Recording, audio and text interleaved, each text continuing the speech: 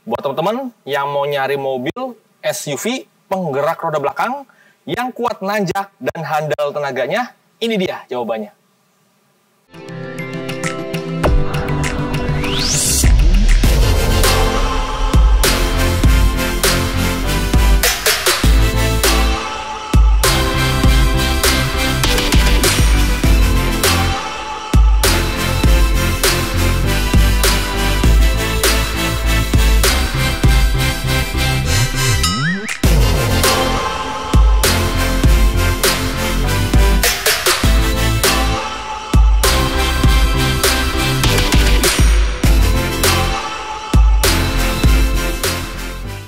Halo semuanya, jumpa lagi di channel Fakih Vape, channel membahas informasi otomotif. Ini dia, mobil low SUV yang ganteng, yang gagah ya. Dan ini dia yang spesial, punya penggerak roda belakang. Salah satu SUV yang penggerak roda belakang ya, jadi kuat buat nanjak ya.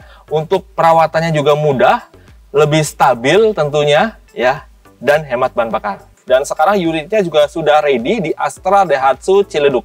Buat teman-teman yang mau tanya-tanya diskusi bisa langsung hubungi kontak yang ada nomor di bawah deskripsi dua ini. Sebelum kita bahas mengenai detail dari fitur, spesifikasi, dan kelengkapan lainnya di mobil ini, yuk kita bahas dulu tentang harga, promo, dan program terbaik di bulan ini. Mobil ini dibanderol dengan harga 276 jutaan rupiah untuk wilayah Jakarta dan sekitarnya yang transmisi manual buat transmisi yang otomatis ya Matic dengan harga 287 juta rupiah.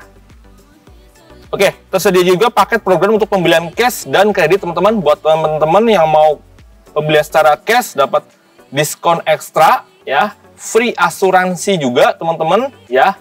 Ya, teman-teman buat yang mau pembelian secara kredit cicilan ada juga dengan kredit yang ringan DP mulai dari 10% ya dan angsuran juga mulai dari tenor satu tahun sampai 8 tahun yang cukup ringan teman-teman.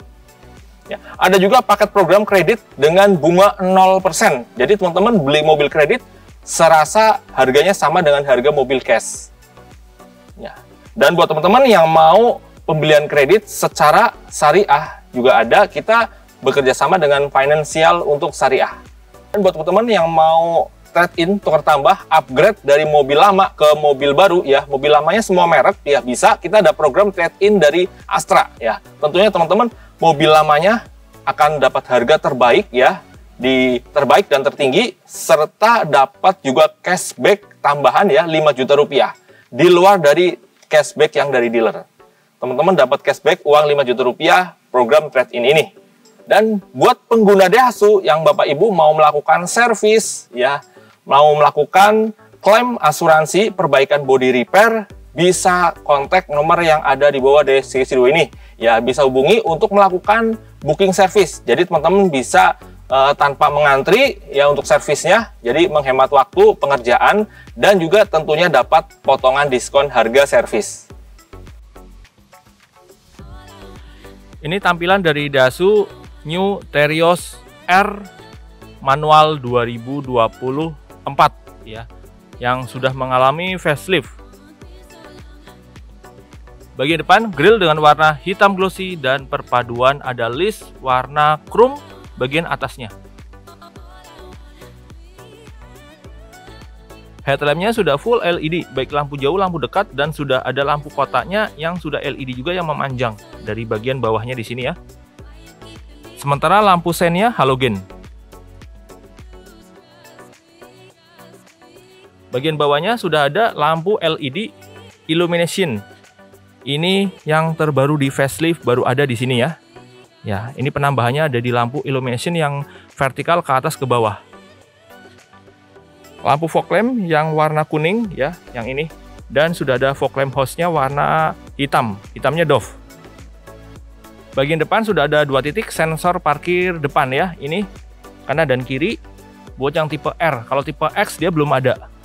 Lalu bagian bawahnya bempernya perpaduan warna gunmetal silver yang lebih gelap. Lalu bagian bawahnya ada pelindung karet bagian bawah ya warna hitam juga. Seperti ini dan air damnya juga di sini lebar juga untuk memaksimalkan sirkulasi udara pendingin di sini. Dimensi mobil ini memiliki panjang keseluruhannya 4455 mm, lebar 1695 mm dan tinggi keseluruhannya 1705 mm. Tinggi dari tanah atau ground clearance sebesar 220 mm yang menjadi mobil ini tertinggi ya di kelasnya untuk low SUV. Radius putar minimumnya 5,2 meter. Ban dengan ukuran profil 215 per 60 R17 ring 17 warnanya gunmetal single tone ya dan ban, ban bannya menggunakan Dunlop Ena Safe suspensi depannya MacPherson Start dengan perkeong dan stabilizer sementara rem depannya cakram berventilasi lengkap dengan fitur ABS dan EBD bagian atasnya sudah ada over fender warna hitam Dove di sini Bagian sampingnya standar di sini karena ini tipe R yang standar yang bukan custom. Kalau custom ada body kit underguard ya, sat stone guardnya bagian samping custom. Ban belakang ukurannya sama juga 215 per 60 R17 dengan velg alloy ring 17 warna gunmetal single tone. Rem belakangnya tromol lengkap dengan ABS dan EBD. Suspensi belakangnya 5 link rigid axle dengan per keong dan stabilizernya. Sama bagian atas rodanya juga sudah ada over fender warna hitam ya sini dan ini jaraknya space-nya juga lebar ya karena ini SUV untuk spion sudah elektrik dan lipat otomatis ya. Lipatannya otomatis sudah ada lampu sennya juga di sini. Lampu spion spionnya juga sewarna dengan bodinya warna silver.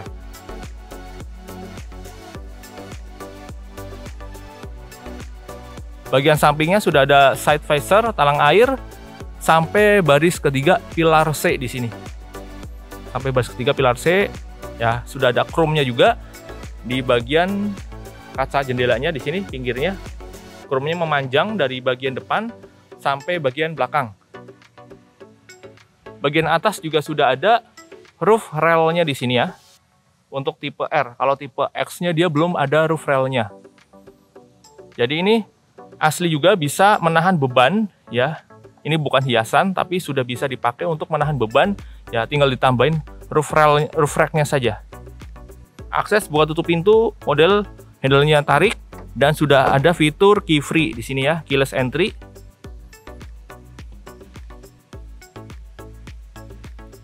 Ini tampilan dari bagian belakang Dasu New Terios R manual 2024 ya yang sudah mengalami facelift.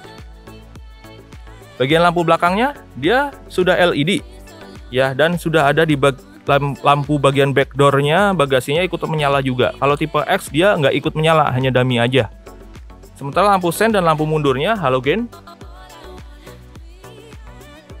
Di, di bagian belakang garnisnya pintu sini ada perpaduan warna hitam glossy ya. Hitam black piano.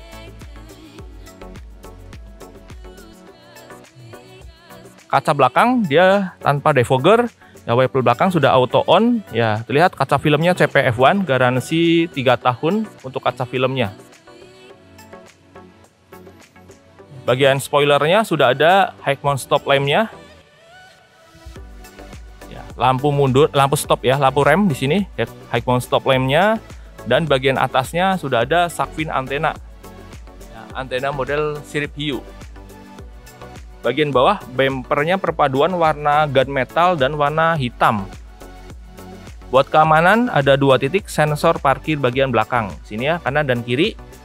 Dan di bagian kanan sudah ada Protera Protection, anti karat, pelindung cat, dan peredam suara bersertifikat. Bagian kanan dan kirinya, setiap ujungnya sudah ada lampu reflektornya juga di sini ya. Untuk lampu reflektor sebelah kiri sudah ada ya knalpot model muffler cutter warna chrome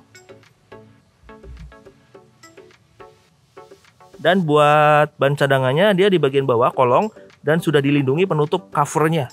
Buat tipe R dan tipe X yang ADS sudah ada covernya. Kalau tipe X paling bawah standarnya belum ada teman-teman. Ya jadi bannya tetap bersih dan aman. Kamera mundur bagian belakang dan tombol buat pintu bagasinya sudah elektrik dari sini.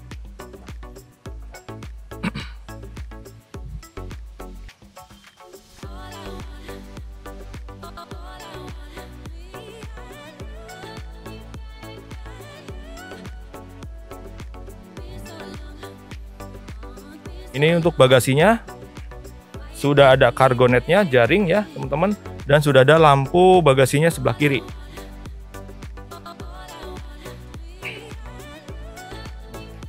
Pelipatan jok baris ketiga dia menghadap ke depan semua yang seperti ini. Kita tarik yang ada tuas di sebelah kiri ya, sebelah sini. Tuasnya sebelah sini ada dan kita tarik di bagian bawah ada tali di sini ya.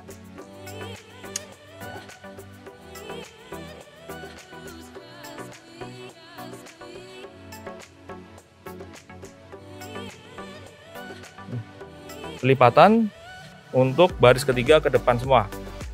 Sebelah kiri dan kanan sudah ada cup holder dan speaker kanan kiri sampai baris ketiga di sini teman-teman. Dan sudah ada pole outlet 12 volt sampai baris ketiga.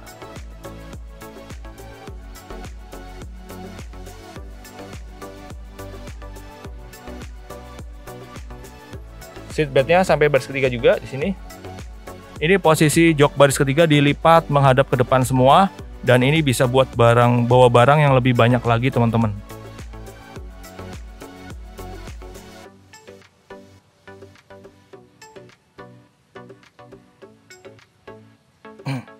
Ini door trim pintu baris pertama, bahannya hardtouch perpaduan ada beludruknya juga di sini, warna hitam semuanya, full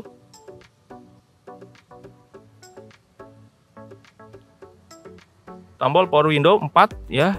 Sisi pengemudinya sudah auto tombol buat retractable lipat otomatis dan pengaturan kaca spion elektriknya. Handle pintu warna chrome dan di bagian bawah dua buah cup holder dan satu buah speaker.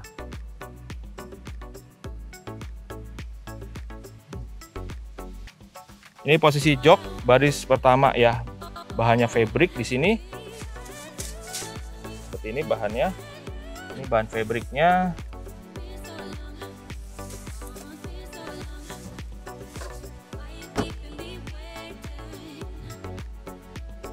seperti ini bahan fabriknya dan semi bucket ya. Nyaman buat nahan tubuh penumpang. Untuk tipe R sudah ada pengaturan ketinggian joknya. Kalau tipe X dia belum ada. Reclining dan sliding sudah ada. Ini dia untuk di bagian konsol tengahnya buat yang facelift sudah dilapisi kulit dan jahitan warna merah stitchingnya ada fitur terbaru yaitu wireless charging teman-teman. Ini wireless chargingnya. Jadi untuk uh, charging handphone smartphone di sini tanpa kabel teman-teman. Ya ini tempat penyimpanan boxnya juga bisa dibuka buat naruh barang bawaan. Untuk setir di sini ukurannya lebih kecil teman-teman dan dilapisi kulit setirnya di sini. Kalau tipe R mode palang tingga dan ini sudah ada motif warna silvernya juga. Sebelah kiri untuk pengaturan audio dan mode menu dan sebelah kiri, kanannya buat tombol panggilan telepon di sini. Untuk keamanan sudah ada airbagnya sisi pengemudi dan sisi penumpang depan di depan dashboard di sini ya. Ada dua buah totalnya untuk tipe X dan tipe R. Kalau tipe-tipe tertinggi ya tipe custom airbagnya totalnya ada 6. Setir ini sudah electric power steering dan sudah ada pengaturan ketinggian ya tilt steering. Kalau tes teleskopiknya dia belum. Lanjut ke bagian meter cluster. Ini meter clusternya dia warnanya masih analog, warnanya perpaduan putih dan biru di sini ya. Di tengah-tengahnya sudah ada untuk layar MID, multi informasi display. Ya. Seperti ini tampilannya mudah dipahami, mudah dibaca juga. Odometer, trip A, trip B, IDS ya. Ini untuk pengaturan sistem IDS idle stop sistemnya ini eco drivingnya indikatornya warna hijau odometer dan suhu bagian luar. Oke mantap dan mudah dipahami mudah dibaca seperti ini. Sebelah kanan di sini ada tombol-tombol. Pertama bagian paling kanan tombol engine start stop menyalakan mesin dan mematikan mesin cukup satu sekali sentuhan. Sebelah kirinya lagi ada tombol buat pengaktifan VSC, Vehicle Stability Control atau Traction Control. Sebelah kirinya ada tombol untuk IDS, Idle Stop System. Jadi ketika mesin berhenti sejenak di lampu merah maupun kemacetan, mesin akan secara otomatis mati. Dan ketika kita jalan lagi, ya mesin akan menyala, teman-teman. Seperti ini. Sebelah kirinya tombol buat aktifkan dan nonaktifkan sensor parkir bagian depan. Ya, tempat penyimpanan di sini. Ini dia layout dashboardnya. Dasunyu Terios 1,5R 2024 ya ini. Full warna hitam ya berubah. Jadi sebelumnya dia ada warna beige terangnya putih di sini. Ya sekarang warnanya hitam full ya sampai ke bagian headlining atau langit-langit. Seperti ini untuk head unitnya dia ada penambahan fitur baru yaitu reminder tanggal ganjil genap ya di sini. Oke, fiturnya apa saja?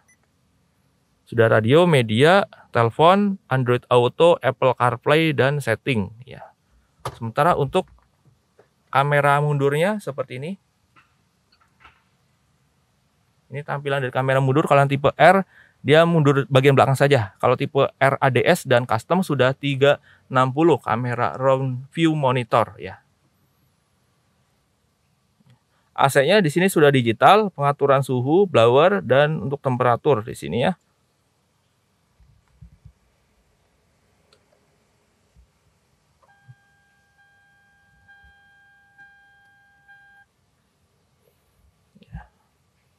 tombol untuk air sirkulasinya di sini, tombol AC dan auto, tombol off di sini.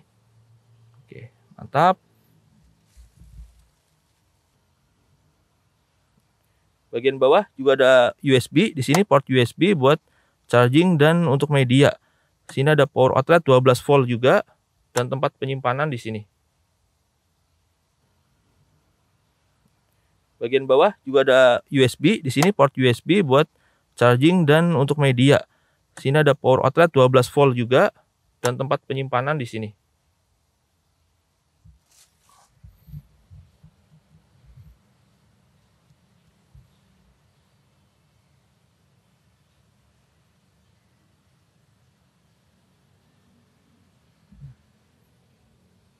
Tuas transmisi dibalut dengan kulit di sini manual 5 percepatan. Kalau yang metiknya otomatis trans transmisi otomatis 4 percepatan konvensional.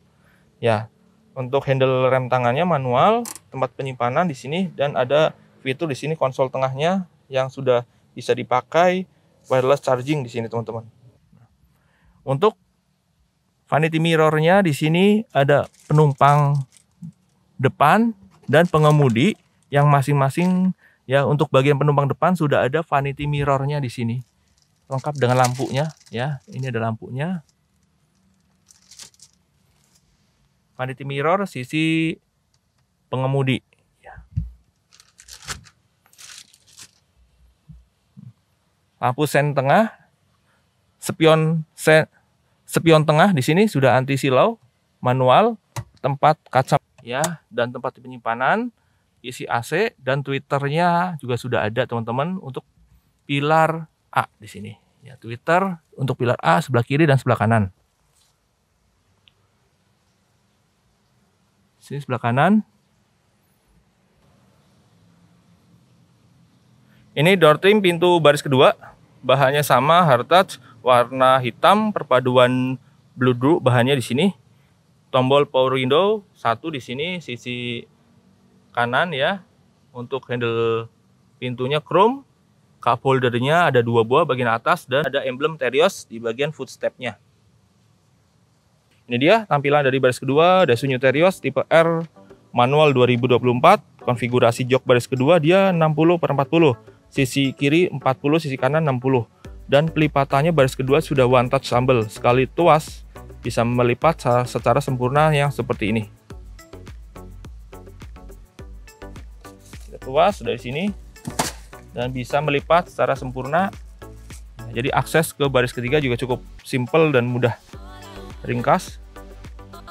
Nah, ini dia saya posisi di baris kedua, Dasu New Terios R manual 2024 ya. Pertama posisi duduk di baris kedua, head head headroomnya saya tinggal 175 cm masih ada space di sini nggak mentok dan ini posisi legroomnya ini posisi jok saya mengemudi masih ada space ini slidingnya paling belakang yang seperti ini ini paling depan ya nggak ada nggak mentok juga di sini ya mantap aman ya recliningnya ini dia segini sampai sini, nggak langsung rata dia. Memang segini, tapi cukup relax, cukup santai di sini. Ya AC-nya sudah double blower, ini.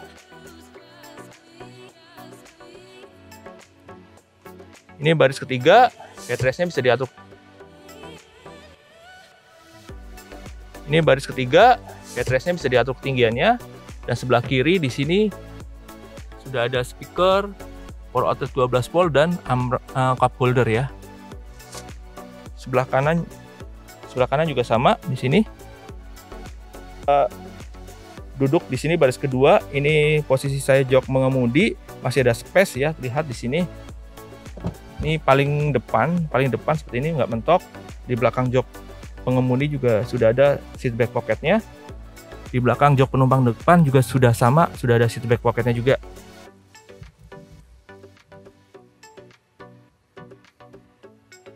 Jadi bagian bawah konsol tengah sudah ada kabel D 1 dan power outlet 12 volt satu di sini. Baris kedua seat bednya 3 titik kanan dan kiri dan fix tidak bisa diatur ketinggiannya. Sementara di seat bed baris ke kedua di bagian tengah ya untuk seat bednya 3 titik 2 titik sini ya. Ya seperti ini. Grip assist sebelah kiri soft opening dan sisi kanannya juga sama soft opening juga. AC double blower di sini sudah dingin juga. Ya, terlihat untuk headliningnya warna hitam semua total di sini ya. Yang facelift. Kalau sebelum facelift dia warna beige terang.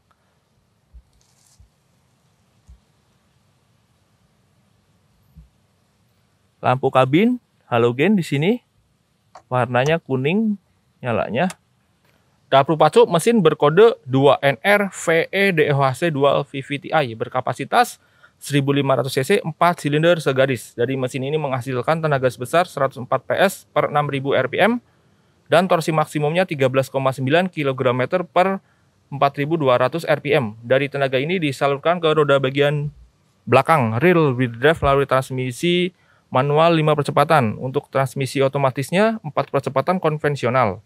Ya, dan ini salah satu unit mobil SUV yang penggerak roda belakang dan kuat nanjak ya. Di bagian kap mesinnya juga sudah dilapisi peredam suara dan peredam panas. Oke, sekian pembahasan singkat dari Dasu New Terio 1,5R manual 2024. Semoga bermanfaat buat teman-teman yang mau tahu informasi lebih lengkapnya. Bisa tanya-tanya langsung di nomor yang ada di bawah deskripsi di bawah ini. Buat teman-teman yang menyukai video ini, dukung channel kami dengan cara like, subscribe, dan share agar selalu dapatkan update informasi otomotif. Terima kasih sudah menonton, sampai jumpa video selanjutnya. Salam otomotif.